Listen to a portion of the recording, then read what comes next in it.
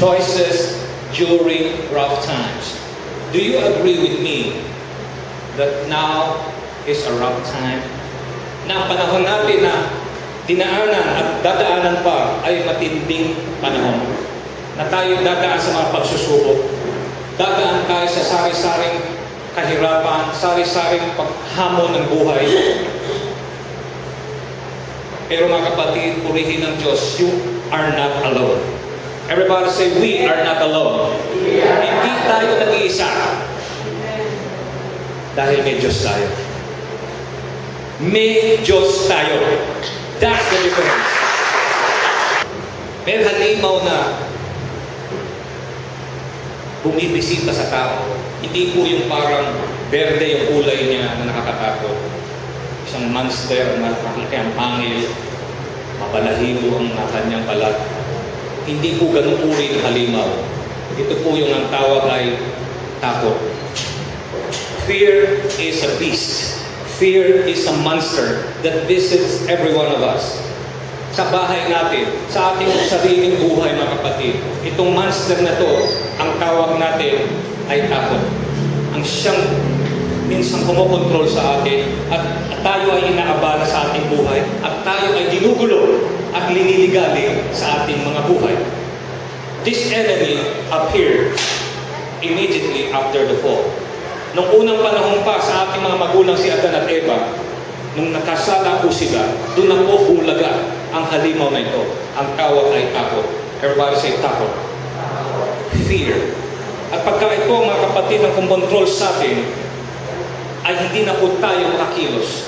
Fear robs us of adventure and success. Hindi ka na makipagsapalaran. Bakit? Sa iyong sarili pa lang talo ka na. Tinalo ka na ng takot. Binalot ka ng kutob at pag-aalinlangan. Because fear is the enemy that came from the devil. Fear robs us of adventure and success, making cowards of us all. Kaya imbis na tayo tumapang, humarap sa buhay na may pananampalataya, marami sa atin ang nagagarapa, marami sa atin ang nanghihina at nagiging matatakutin. Tingnan mo nga ang iyong katabi ko, siya nagiging matatakutin na. Oh, huwag kang magulat. Kung nakita ka, naging matatakotin siya.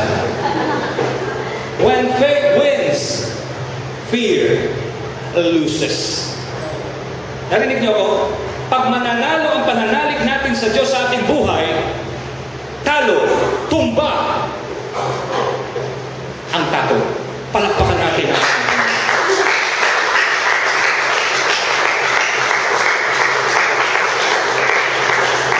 Hindi ko marinig yung palakpak ng mga mananampalataya.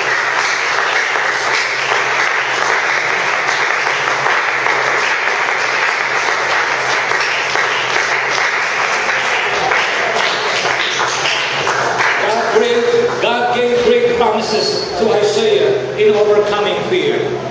Nagbigay po mga kapatid ang Diyos ng napakaganda at napakaraming mga pangako kay Isaiah upang magupo at matalo ni Isaiah ang takot sa buhay niya.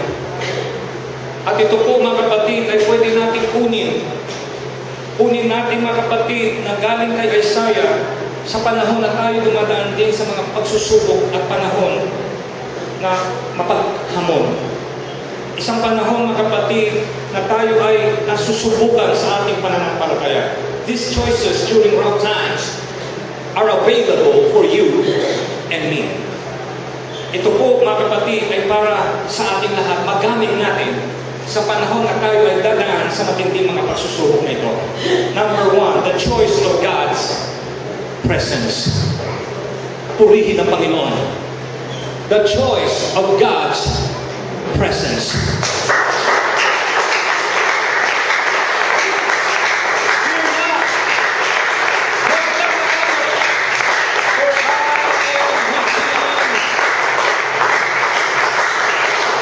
Umuwi ka ng Panginoon.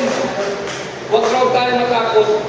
Hindi raw tayo nag-iisa o nagkibagbaga sa buhay na tayo lang. Kasama natin ang Panginoon. Isang sundalo mga kapatid ang tumatakas laban sa kalaban. Marami na siyang mga kasama na namatay. Yung iba sugatan, hindi niya naman tulungan. Ang kanya na lang nasa isip ay iligtas ang kanyang sariling buhay. Ang mga sundalo, mga kapatid, ay ang dami. At ang kanilang troop, mga kapatid, ang kanilang squad ay halos naubos. Siya na lang halos ang natitira. At siya po ay tumakbo malapit, mga kapatid, sa mga kuweba. At ang sabi niya, ito na ang huli kong uh, stand. Kung ako ay mahuhuli nila rito, dito ako mamamatay.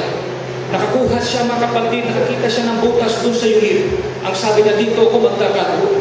At nung siya mga kapatid, nagtago doon sa yungib, pumasok siya, inisip niya sa sana wag siya makita ng tumutugis ng mga kalaban. Ay siya na nalangin, Panginoon, tulungan mo ko. Wala namang katulong sa akin, hindi ako matutulungan ng aking leader, yung aking squad uh, commander, wala siya matutulong sa akin. Ikaw lang, Panginoon, makakatulong sa akin.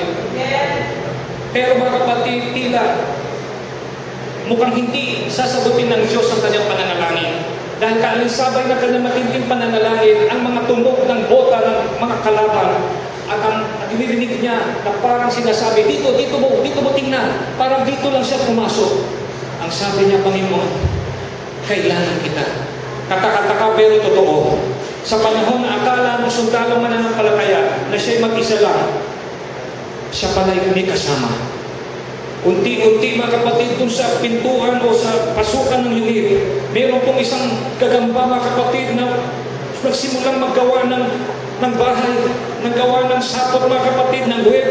At katakataka pero totoo, gumawa ng, sapot mga kapatid, yung, yung, yung gagamba. At ang sabi mga kapatid ng isang sundalo kaaway, huwag mo nang pasukin yan. Walang, walang tao yan. Paano gagawa ng ano, di ba? Paano magkakaroon ng uh, web kung, di ba, may tao dyan? Kaya nilagpasan nila. Ligtas yung sundalo ng mga tao. Hindi mo naging isa. Kasama mo ang Diyos. Hallelujah, praise God. The Christian is not alone. Sabihin mo siya katabi, hindi ka mag-isa. Kasama mo si Kristo. Huwag kang pumayag na hindi ka tinitingnan niya ng mata sa mata. Sabihin mo, kasama mo si Kristo. Eh, yung isa pala kaya hindi tumitingin, ginaganon niya yung kanyang ano, hindi niya natanggal yung mga asin-asin, nahihira siya. O kahit may ganyan o wala, hindi ka nag-iisa. Kasama mo ang Panginoon.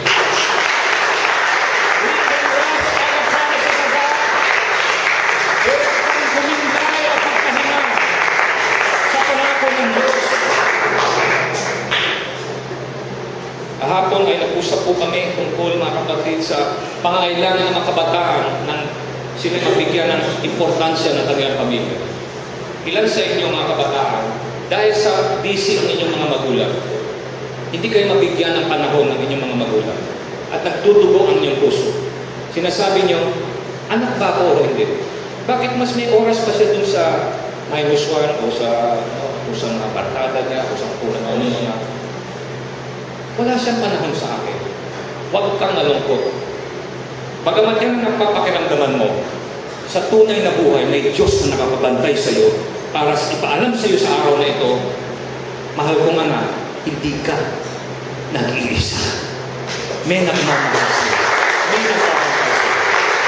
Ang Diyos.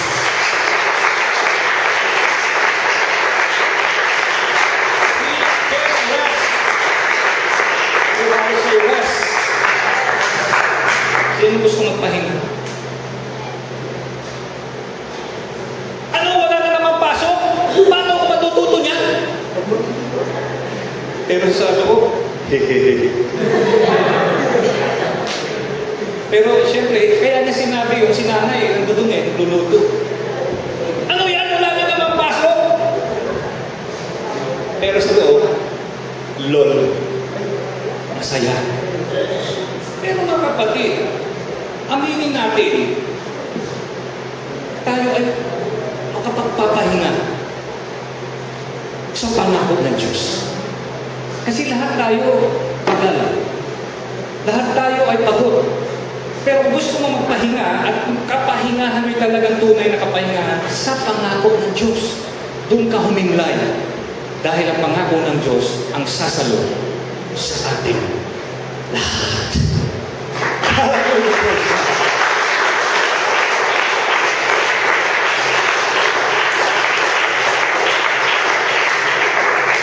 Nagpunta ako mga kapatid sa isang exhibit nung nakaraan. I went to the China Machinery exhibit at the MOA and I took my lunch in the Conrad at nung pagkatapos ko mga kapatid ako'y pauwi na meron ako nakitang mukha na parang kilang-kilala ko. Ang sabi ko, ah, ikaw, ikaw si ganito. Hindi na babanggitin yung pangalan. Matagal kong naging kaibigan. Ah, matagal ko rin siya hindi nakita pero pag nakikita kami minsan sa Shangri-La at ngayon naman sa MOA, sa Conrad, at ang sabi ko, kumusta ka? Matagal na tayo din nakita. For three hours, nag-usap po kami. Or less than three hours, maybe two and a half. Of course, na-share ko rin ang Lord sa Kanya. At uh, nadaanan namin yung big one. Yung big one, mga kapatid, hindi po pagkain yon hindi po isang, isang style ng ice cream o ng shake. Ito po mga kapatid ay yung darating na sinasabi ng mga dalubhasa na matinding lindol dito sa Maynila. Ang sabi niya, ay matutuloy yan kasi sabi ng mga dalubhasa. Ang sabi ko sa kanya, anong mas mabilis? Mag-pray na huwag matuloy itong matinding lindol na to na pwedeng uh, sumira sa maraming buhay at pumaslang sa maraming buhay ng tao?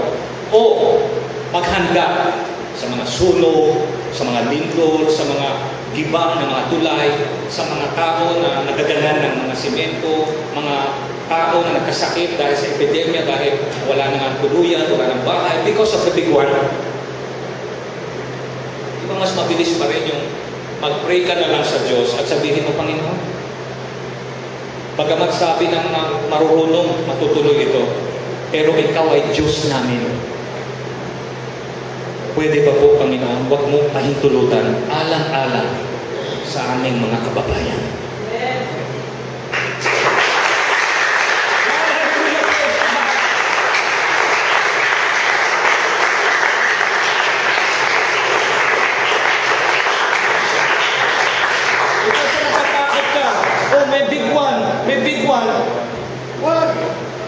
Magpuri ka na lang sa Panginoon.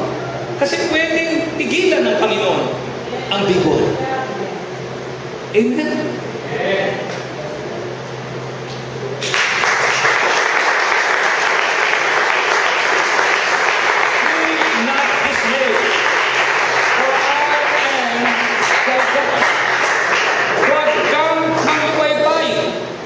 sapagkat ako'y iyong Diyos.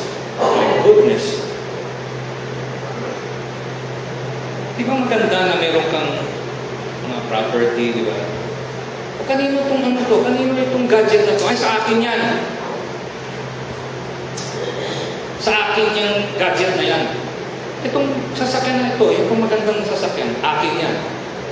Maganda, di ba? Meron kang ano. You own something. But here, you have a God. He is not disowning us. He is in fact telling us that He belongs to us. Siya ay atin. Hindi niya tayo pinalalaya sa pinaalis, hindi ka, hindi ka kasama dito, you're not included. No, He's not saying that. He's telling us, I am your God. Do not be dismayed. Huwag kang naglumaypay.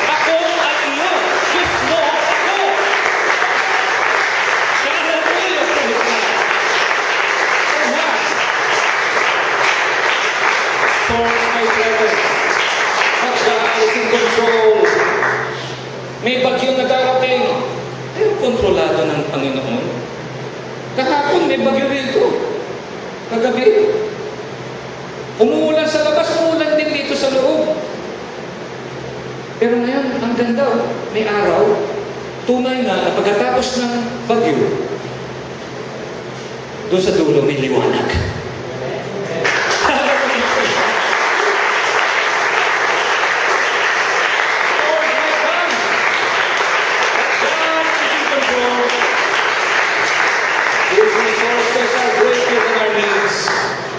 higit pa rin ang kakayanan ng Panginoon kesa sa ating mga pangangailangan at poproblemahin.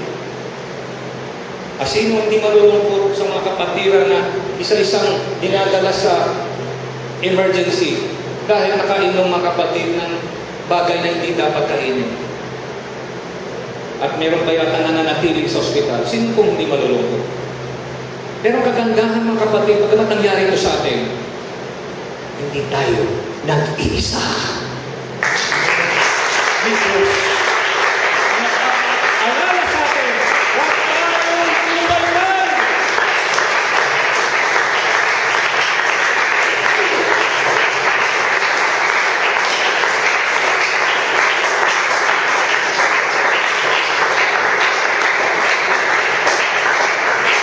Sino hindi malulungkot na yung aking ka-high-five-an, alam niyo yun? Ka-high, hindi, hindi high-five eh, yung middle five, middle, middle high. Ganun, di ba, high-five? Dito lang kami. Ganunan kami ni Hailey. Pupunta yung dito eh, tapos tatalon-talon, kumupuri sa Panginoon. May, meron po siyang, ah, ah, ano, napacheck up. Dahil meron din siyang ah, karamdaman. Ang dami pong may mga sakit ngayon. Pero, may karugtong pala yun. Temporary lang pala. Pansamantala lang. Kakasakit ka ngayon, pansamantala. Nakaroon ka ng problema, narapa ka, nakaroon ka ng problema, pansamantala. Hindi permanente.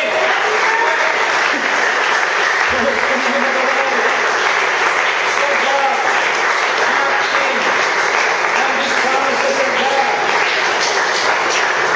drives our fear away.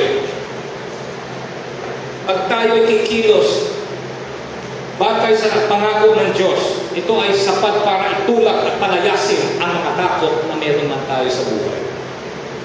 Meron konting takot at tanggalin ng Diyos yan. Basta lumakad ka na may pananampalataya sa salita ng Diyos at sa Diyos. Maniwala ka, huwag ka maglubaypay. Kumilos ka pa rin na parang walang nangyari. At magugulat ka. Yung takot mo kanina, ngayon wala na. Napalitan na ng pananalig sa ating Panginoon. When faith wins, fear loses.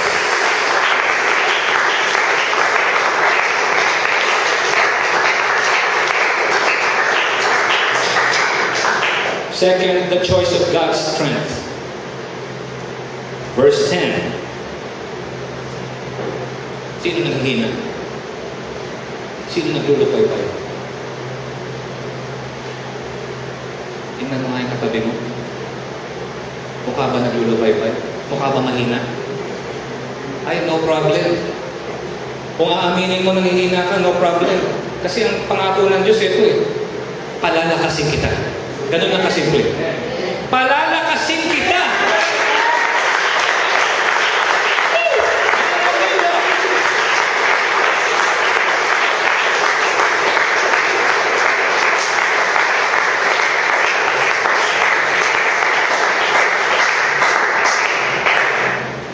Sino sa inyo, meron pong handphone, pag wala ng power, wala ng power, tatapon ko na.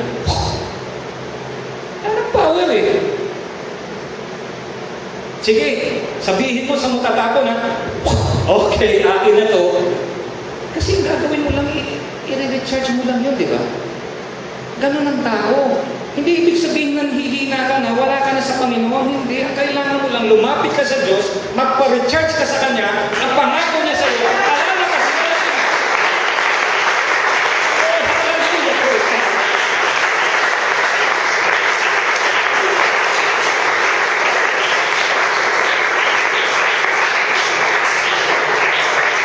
I will strengthen you. Sabihin mo sa iyo katabi, yan ang sabi ng Lord, I will strengthen thee. Palalakasin kita, kung baga sa Tagalog. The Lord invite us to trade our weakness for His strength. Di ba mahina tayo? Pag tayo lalapit sa Diyos, ano ba yung binibigay natin sa Kanya kalakasan natin? Binibigay natin ating kahinaan. At sinasabi natin, Lord, ito ang aking weakness. At ano ipapalit niya sa atin? Kalakasan niya. Yan ang kagandahan. He is the source of strength in a time of testing and trial. this transaction empower us in any crisis. Kahit saan kang lupalot magkaroon ng problema. Sa panahon na kayo nanghihina, sa panahon na parang wala ka ng lakas, sa panahon na gusto mo nang sumuko, pero tawagin mo ang Diyos. He is an ever-present help in times of trouble. Tawagin mo lang siya, naroon siya. Ganyan siya para sa lahat. Palakpakan natin ang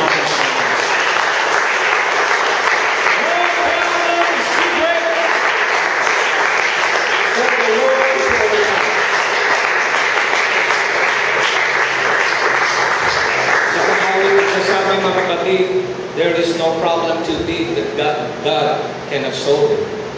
Meaning to say, kahit gaano kabigat ang problema, kayang ayusin ng Diyos yan. Naroon siya para sa ating lahat. So we don't have any fear. Fear should be absent because we have a God. No problem is too great for the Lord to overcome. Pagtatagumpayan yan ng Panginoon. Yung iba po mga kapatid na pumasok sa emergency room, at ginamot dahil sila po ay na food poisoning. Ilan po sa kanila ang unang nakalabas. At meron akong nakita ron, ang sabi ni sister, iningatan ako ng Diyos kahit nakakalimot ako minsan sa Kanya.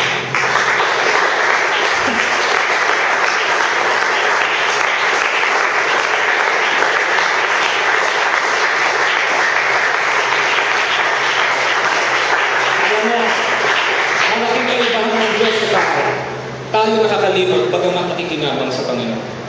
Ang Makinabang siya sa atin o hindi, naaalala tayo talaga. At ang pangako niya, anak, palalakasin ko kayo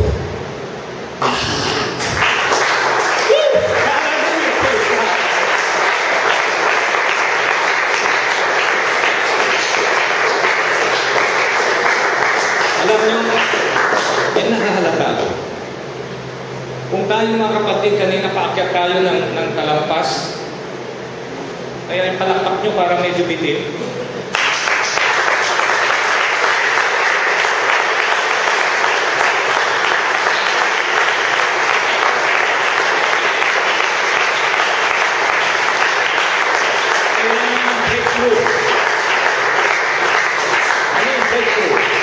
Doon sa mga marunong magmaneho na sasakyan, naiintindihan nyo sa, sa nasabi ko, yung kung nagmumotor, yung pagka na, naalanganan ka, di ba?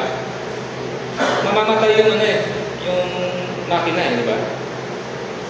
Kaya doon sa para medyo maintindi na, doon lalo natin palakasan yung palakpak. Doon natin lalong purihin ang Panginoon. Doon lalo tayo magpaka, di ba? Mag, mag, magpursige pa. Para pagka umabot ka na doon sa yung dinaalanganin at medyo paano na, kahit, di ba, freewheeling na lang. Ilalagay mo na lang sa neutral o sa, di ba? Sarili na aandar yung sasakyan mo. Naintindihan nyo? Eh, doon tayo sa pagsusubok, natural, kailangan ng puwersa, kailangan ng willpower, kailangan ng grit. Everybody say, praise the Lord. Tulungan niyo ako. Hindi ko kaya mag-isa doon. Ako lang excited. Aba, ako lang ang pinapapala yata. Eh, hindi lang ako. Tayo. Tayo lahat sabay-sabay pinapapala.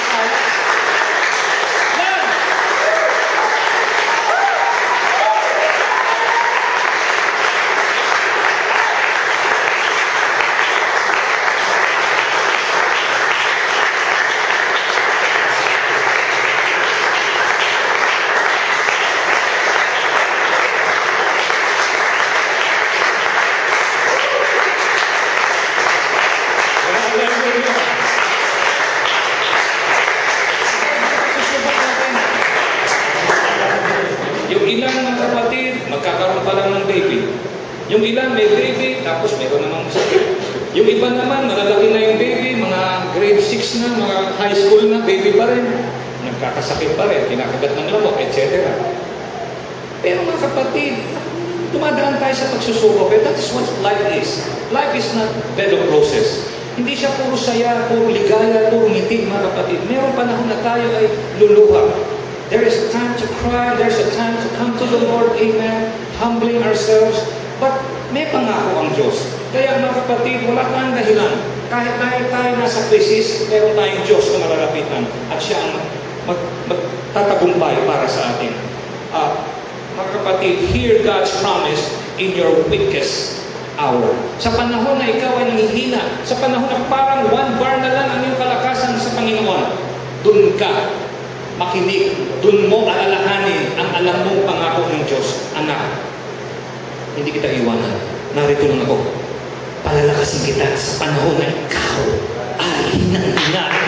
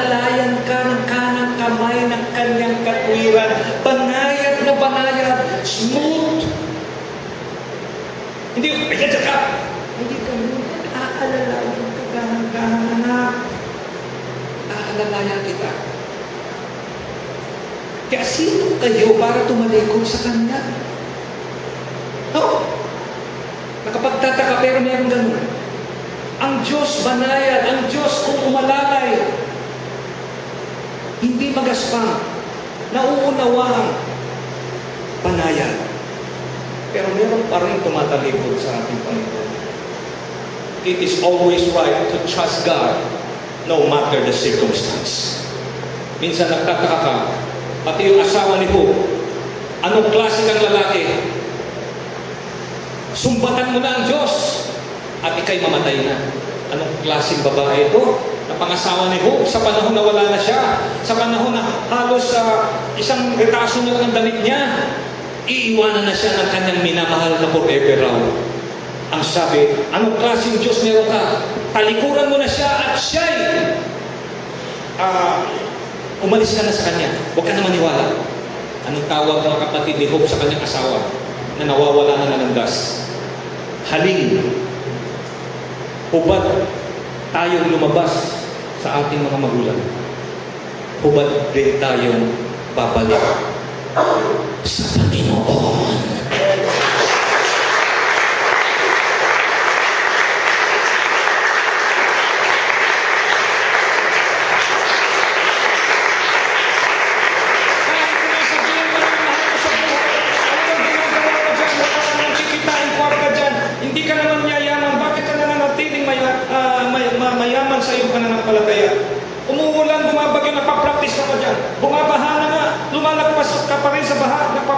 Pa rin dyan. Bakit ayaw mo nang sumuko? Kasi ang Diyos natin ay tapat. It is always right to trust in Him despite of any circumstance. People will, will question you. Sinasabi nila, tataka sila, bakit ganyan ang paniniwala mo? Para kang nasisiraan ng bait. Pero ikaw lang nakakaunawa. Kaya mo ito ginagawa dahil natikman mo na ang tamis ng relasyon sa Diyos. At sa iyo. Hallelujah, praise God. Hindi mo ako. Giving ourselves to the Lord.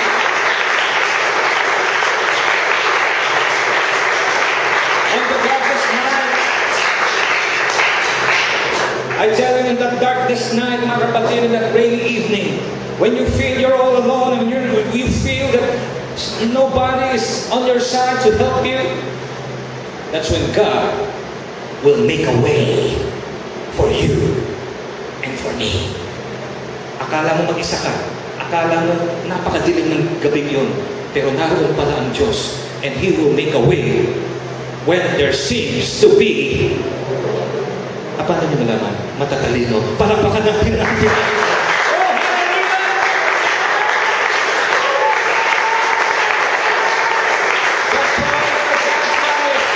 That's why it's satisfied. God is a God who gave us free will. Hindi naman tayo niya minanipula eh, para mapunta lahat sa Kanya. Hindi. Binigyan niya tayo ng pagpili, free will. Everybody say free will.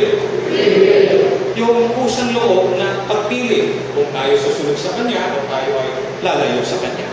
Now, kaya tayo lumapit sa Kanya kasi napansin natin kung lalapit tayo sa Kanya, kabutihan natin. At ang ating bilang pagpapasalamat sa Kanya, pagsamba. Tama. Now, dito po mga kapatid, ah, meron tayong pwedeng pagpili eh. Kanina nga yung God's presence. Piliin mo ang presensya ng Diyos kahit naman hindi mo talaga piliin. Nasa, naran siya. He's everywhere. Eh, lalo na kung pinangako niya pa na siya naroon. So, so you choose His presence. Number two, you choose His uh, uh, strength. Kasi yung lakas natin, mas malakas naman di hamak ang Diyos. At dito sa ikatatlo, we choose God promises. Yung kanyang pangako pa rin ang ating pinipili. Kasi mga kapatid, napakaraming sinabi ang pangako niya. Verse 13, I will hold thy right hand. Fear not, I will help you. Na naman, pag sinabi ng Diyos ng isang beses, sapat na yun. Tama? Pag sinabi ng Diyos, tutulungan kita. Lalapit ka ba ba sa Diyos? Lord, tutulungan mo ba? Di ba ganon yung minsan, kaya nga may teacher sabi, ah, kayong mga estudyante, pag sinabi ko sa inyo, ah, bukas may huwag kang magpapalo at sasabahan, sasabihin sa akin, teacher, bukas may. Oh, bukas walang pasok ka. Teacher, bukas walang pasok. Kaya yung pag ang sarap, ano yun eh. Ilalo na sa Diyos. Pag sinabi niya tutulungan niya tayo, understood. Sabi nga ng Bible, for a wise man, to a wise man, there is what? One, di ba? One word is enough. Ano sabi ng Biblia? Kung ikaw matalino, isang sabihan ka lang. Oh, alam mo na. Aba, hindi lang isang beses, Brother Marco. Si inulit ng Diyos. Doon sa verse 10, sabi niya, tutulungan kita, anak. E doon sa verse 11, verse 12, baka pa lang, nakakalimutan na ng tao, inulit niya doon sa verse 13. Ano?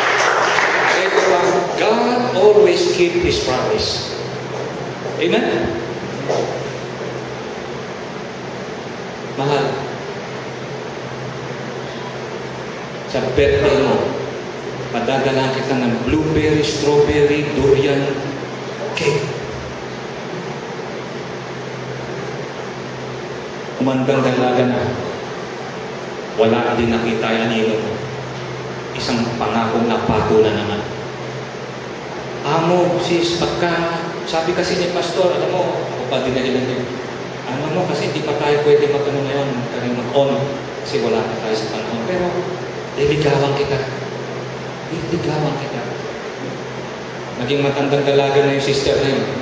Walang lumigaw sa kanya. Isa na naman, may pumingiti rito, hindi ko nababanggitin yung pangalan. Mga pangakong napapako. Pero kailan? Napako kahit isa lang. Pangako ng Diyos. Wala. Lahat natutupad. Kasi Diyos ang nangako. Ginaganap niya lahat. At yung nangako, ano gawin? Ang nangako.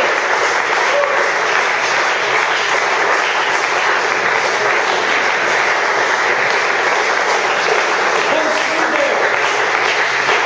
His promises.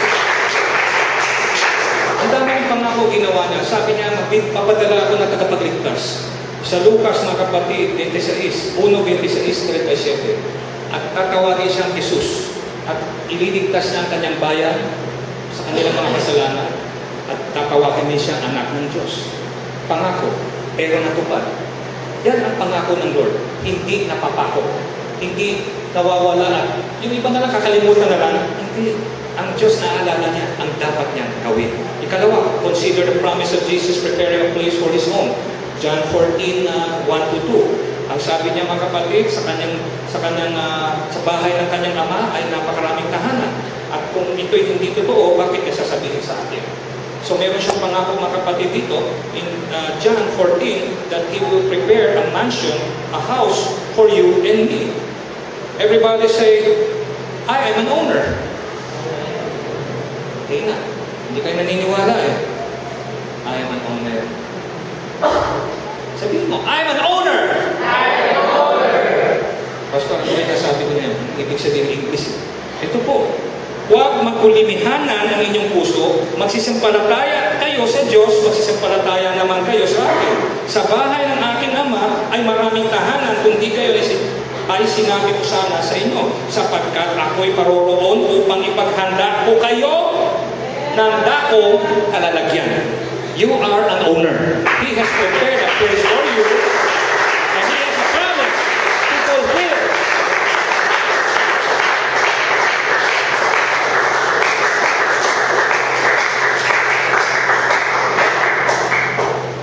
Kaya minsan, pagka sinasabi niyo sa magulang niyo, Nay, sama kayo. Pag nagpunta kayo roon, magkakaroon din kayo ng bahay. Hindi maunawaan ng nanay niyo. Hirap na hirap ako dito mag-overtime ang kakaroon tayo ng bahay, punta tayo sa church. Hindi nila alam, ito yung matinding bahay ko. Bahay na hinanda mismo ng Diyos. Kasi mga bahay dito, mga kapatid, gawa lang ng tao. Pag lumindol na matindi, pagsakan ka. Pero doon sa nilikha ng Panginoon, matindi yung bahay na yun. Ilang araw nilikha ng Diyos ang lahat ng bagay. First day, He created what? Second day, He created this. Fifth day, sixth day, on the seventh day, He rested, right? Ang ganda, di ba? Mundo, planeta, estrella, Boracay, Niagara Falls. Oh my goodness, a lot of beautiful places. In America, in China, in Philippines, etc. Pero until now, di ba? God promised us have a house in heaven. Gaano ka kaya, gaano kaya kaganda yung bahay na nasa langit na yun? Eh, yung isang, ilang araw lang nang ginawa nung unang paglikha niya, ang ganda niya eh. Eh, yung paggawa niya ng bahay natin, hanggang ngayon ginagawa niya pa, aba, matindi to. Matindi. Everybody say matindi. Everybody say grabe to.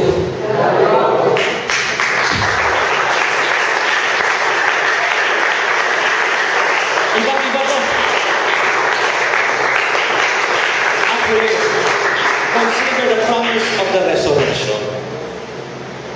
Don't you know, mga kapatid, that the promises of the Lord may, if, if it may be convincing to this, to this level, pag itong huling pangako niya, hindi po niya natupad to, may chance na peke ang Kristyanismo.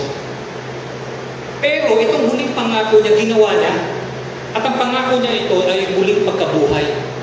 Resurrection. In fact, the, the, the good news says, Jesus died, He was buried, and what? He rose again. Meaning, kung ang Diyos ay, na, ah, ang Diyos naging tao namatay, inilibing at nabuhay na naman muli, buhay ang patayan ng ating pananampalataya.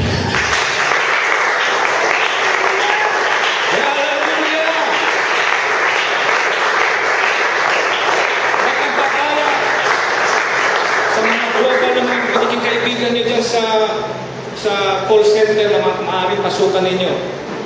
Sabihin, no, our religion, Buddhism or Hinduism or Islam is like Christianity only. Ay, wag mo sa, wag kang papayag. No, Christianity is different. Muhammad died, he did not rise again. Buddha died, he's still in the grave. Jesus died, but he's now risen. Buhay ang aming Panginoon. Hallelujah! Are you going through that? Kayo ba dumadaan ngayon sa matinding pagsusuko? Maraming bayarin. Alam niyo mga kapatid, hindi naman po kayo lang eh. Kami rin. Kami nga yung nauna eh. Kumbaga sa Buena Mano kami. At yung metro mga kapatid sa ospital, kung pwede mo pigilan, di ba? Parang metro ng ano, kung pwede mo pihitin yung ano, wala, bayad ka lang ng bayad. Pero mga kapatid, kung ang kapalit naman ay buhay ng iyong anak at mahal sa buhay, kahit bilyon, wow, wow ah, bilyon ha? Eh, totoo naman, di ba? Bakit kayo umingiti? Kayo, kayo yung ganito, eh. Ano? Bilyon? Gagastos ang kita ng isang milyon. Pagkapatay ka na, yung sukli, oh, yun, akin na. Hindi ganon.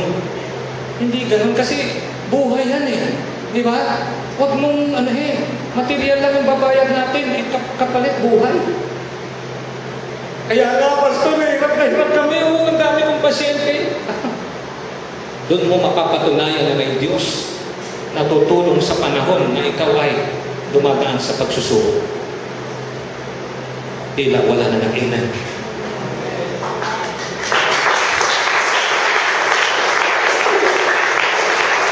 Church, nalalagpasan natin ang matinding dinadaanan natin ngayon. Kung tayo ay nagkakasakit, yung iba hindi nagkasakit pero namatay na. Isa pong pamilya mga kapatid, dumadaan doon sa isang highway, natumpok ng isang cement mixer, nasa kluban ng isang cement mixer. Bumili lang sila ng aso. Kinuha nila yung aso na may lahi para irigalo sa mga bata. Masaya-masaya sila. Kung bit-bit-bit nila yung aso dun sa sasakyan. Puti pa yung aan nila eh. Hindi yung aso, yung kotse, puti. Tapos, maganda yung kotse, bago, Honda po eh. Aba, nahulog ang mga kapatid ng cement mixer. Salamat sa Diyos, hindi naman po lahat patay. Pero meron pa rin isang kinuha ang Panginoon. Ibig sabihin, wala, hindi natin kontrol ang ating buhay. Kaya kung makita mo ang sarili mo buhay ngayon, nakapagpupuri sa Panginoon, magpuri ka palalo sa Diyos. Dahil yung iba, gusto magpuri na kayo, hindi nila magagawa. Patay na kasi. Tayo buhay. Sabi mo sa'yo kagabi, buhay ako. I am alive.